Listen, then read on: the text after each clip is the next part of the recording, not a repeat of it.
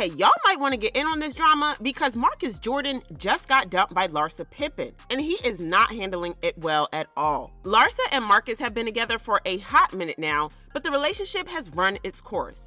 Word on the streets is that Larsa dumped Marcus because she realized that he was not financially stable enough for her, and this set Marcus off, and he read her for filth, accusing her of using and dumping him. Y'all, this looks like it's about to be a very messy breakup because these two have been throwing shots at each other online. And child, even Michael Jordan is jumping into the situation and shading Larsa? Anyone could have seen this breakup coming from a mile off, but apparently Marcus is not one of such people because according to reports, he was blindsided by the breakup and he has been hurting because of it. To refresh y'all's memory about this situationship, Larsa and Marcus started hanging out in December 2022 and there were rumors that there was something going on between them. But it rubbed fans the wrong way for all the wrong reasons. For one, there's the massive age difference between them because Marcus is only 33 while Larsa is 49, pushing 50. Now, I know that Marcus is an adult and he can do whatever he wants to, but still, it was weird. What made it even creepier are the rumors that Larsa allegedly knew Marcus when he was a kid. See, Marcus's dad, the OG Michael Jordan, played with Larsa's ex-husband, Scottie Pippen, when Marcus was just a boy. Larsa was already married to Scottie at the time, so people found it weird that she would be dating Marcus when she had known him as a boy. According to the timeline, Marcus would have been about 6 or 7 years old, and Larsa would be about 22 or 23 years old when they would have run into each other. So the thought of Larsa being intimately attracted to someone that she first got to know at that age gave people the ick. However, Larsa was quick to jump in and defend herself, claiming that even though Michael Jordan and Scottie played on the same team, she never really mixed with the other families, so she didn't know Marcus when he was a child. She left a comment on the Shade Room denying that she had known Marcus all those years ago. She said, I just met him three years ago. I never knew him or his family. I was 21 years old and in college when Scottie played that one year with MJ, and we weren't friends with them like everyone thinks. But it kind of came across like she was just trying to save face because she was getting dragged for filth on social media and everyone was accusing her of being a creep. It was so distressing to her that she went on Tamron Hall's show where she stuck to her claims and how she hadn't met Marcus when he was a child, claiming that they had met four years ago at a party and had befriended each other. Well, I feel like we, we literally just met at a party um, four years ago. Oh, really? And we were just friends. Because we we all lived in Chicago. And yeah. When did you meet him? Four years ago. Four years. At where? A party. Then? At a party. I like an LA party. But again, people didn't buy this because she herself admitted that when they first started dating, she had gone over and beyond to hide the relationship, even going as far as to save his number under a fake name in her phone. She said, I could never really put you under your name in my phone, so I had you under Mark Jacob. I didn't want anyone to know when you called me. Yeah, it doesn't sound like the relationship started off on a good foot. And even when they decided to get more public with their friends, they still kept it away from the public. The only reason we found out about this was that someone in her circle blabbed about it to the press. The insider said Larsa and Marcus Jordan are casually hanging out.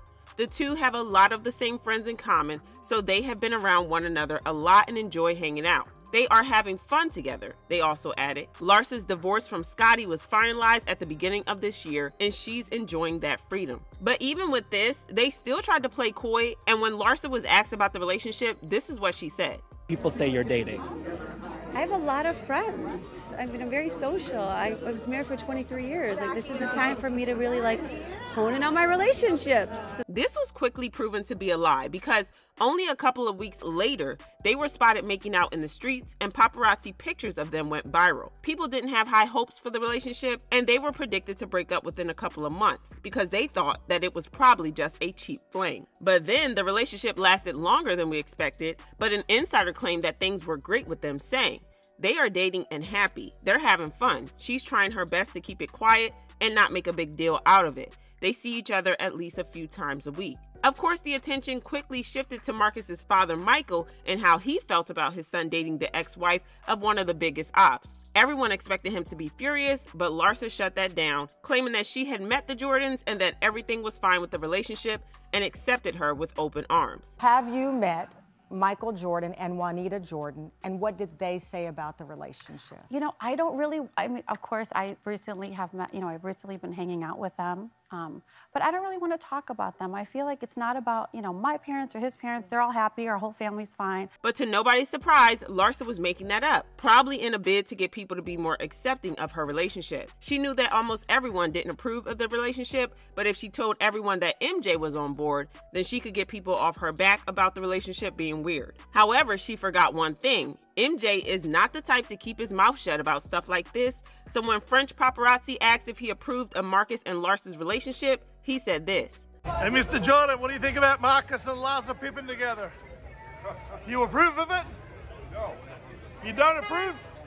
This was kind of humiliating for Larsa, and she got dragged for lying about having MJ's stamp of approval. But Marcus was quick to rush to her defense, and he spoke to ET saying, I think my family just wants to see me happy. And so, as long as I'm happy, they're happy with, you know, where I'm living. Everybody had an opinion at first. I think there was some shock and interest early on, but I think that was the whole point of us trying to spend some family time together. Marcus was clearly head over heels in love with her and he kept defending her to anyone. There were even rumors that he could have been planning to propose to her. Yeah, he was just that into her. But the next thing we knew, breakup rumors started flying around about them breaking up and it was confirmed that Larsa was the one who dumped Marcus because he wasn't as rich as she thought he was. According to a source, Larsa needs a man that's a bit more mature and financially stable. Marcus was fun, but Larsa is looking for someone that she can build a life with. Well, Marcus clearly was not that man, and it doesn't look like the breakup was friendly because they've both been posting shady stuff on social media, like this one where Larsa had a poll asking if her friends needed to unfollow Marcus after their breakup. Well, sources are claiming that Marcus is not handling the breakup well, and he has been on a downward spiral ever since. He is crushed that Larsa blindsided him like that, and he now believes that she was using him all along only to dump him when she realized that he wasn't as rich as she expected. According to an insider, Marcus has been flipping out on her, accusing her of using and dumping him. And just to troll her, he posted a picture of him and his dad, and I'm not gonna lie, it's a pretty sleek way to clap back at her. Someone commented, I need Larsa to stop with these cryptic messages about their breakup. At her big age, it's childish and cringy. I'm not surprised though, she practically centered her whole existence around Marcus and behaved like she never had a man before. Embarrassing. And this other person tweeted Larsa is a middle aged woman who her entire being to be accepted by people who hate her. Her behavior is embarrassing and sad. She built her life around Marcus, but he's young, they're on different paths. It's time she resets and finds herself. Her kids are watching. But I want to know how y'all feel about this drama. Drop your thoughts in the comments, then check out this next video.